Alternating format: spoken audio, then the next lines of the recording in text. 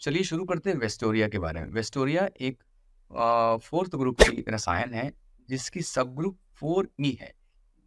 जिनका नाम है मेसो आयोनिक्स वेस्टोरिया इस ग्रुप का होने की वजह से अन्य मॉलिक्यूल जैसे इमिडा थैमेथोक्सम के छिड़काव से भी जो रेजिस्टेंस आ जाता था, ऐसी स्थिति वेस्टोरिया के छिड़काव से नहीं होगा। इसका विवरण आप स्क्रीन पर दिए हुए स्लाइड में पर देख सकते हैं। मतलब ये है कि नियोनिकोटिडाइड ग्रुप का कोई भी दवाई चलाए, माहू में रेजिस्टेंस आ ही जाता है। कॉन्फिडोर एक्टारा ओशिन डंटासू सब नियोनिकोटिड ग्रुप में आता है। वेस्टोरिया टेक्सलॉन जैसा इसी फॉर्मेशन में नहीं आता है, बल्कि ये डब्ल्यू जी फॉर्मेशन में आता है। दोनों फॉर्मेशन में क्या फ़र्क है, ये आप देख सकते हैं दो अलग अलग स्लाइडों में।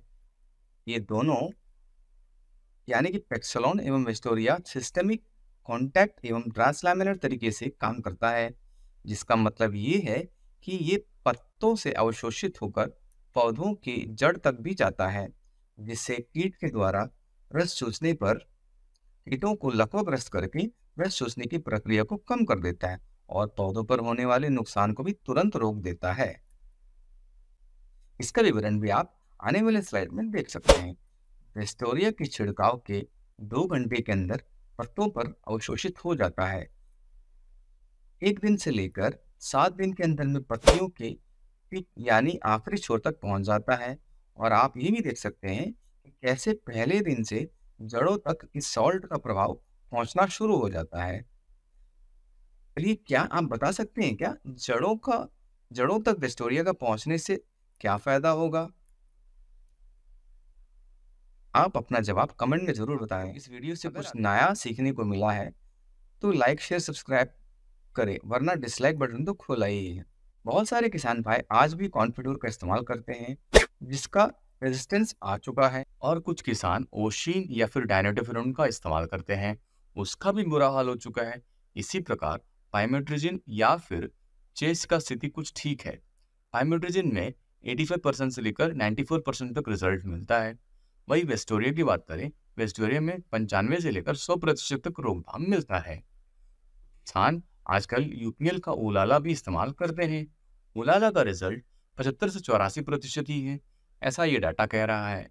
इसका भी रिज़ल्ट पेक्सलोन या वेस्टेरियो से अच्छा नहीं होगा। क्योंकि ये सब पुराने ग्रुप के मॉलिक्यूल है, पुराने मॉलिक्यूल है, जिसका डिटेल आप ये स्लाइड में देख सकते हैं।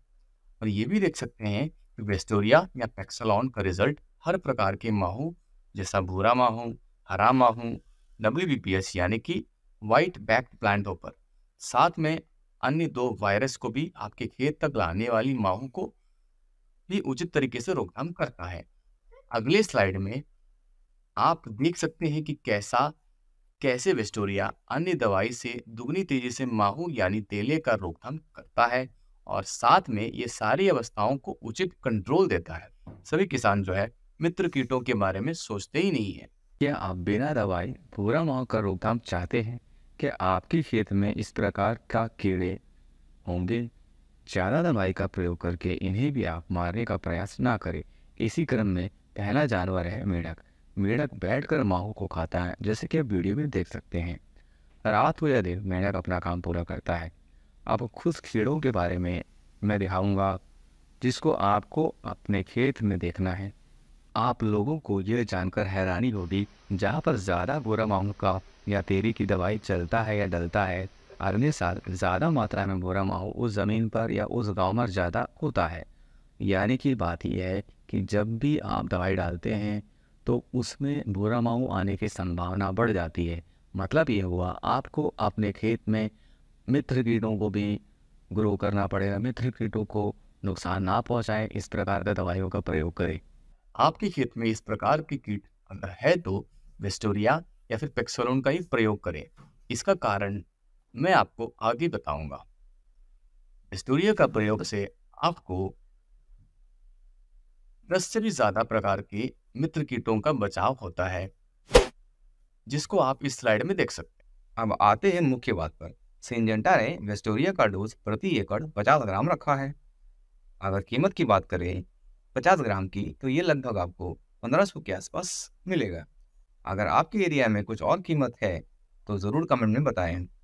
और अगर इस दवाई की प्रयोग की बात करें या समय की बात करें लगभग इसको हमेशा की तरह अन्य जो भूरा माहों की दवाइयों को का अनुशंसा है वैसे ही इसको भी 45 से 60 दिन के अंदर ही स्प्रे करना है।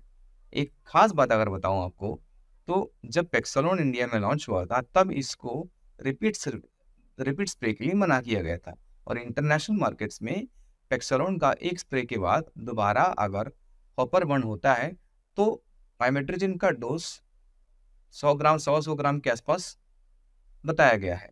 और अब देखते हैं सिंजेंटा जो है, इस मॉलिक्यूल को, यानी कि चेस को दोबारा प्रयोग करने के लिए बोलते हैं कि नहीं बोलते हैं। चलिए मिलते हैं एक कोई नए वीडियो में, तब तक के लिए नमस्कार।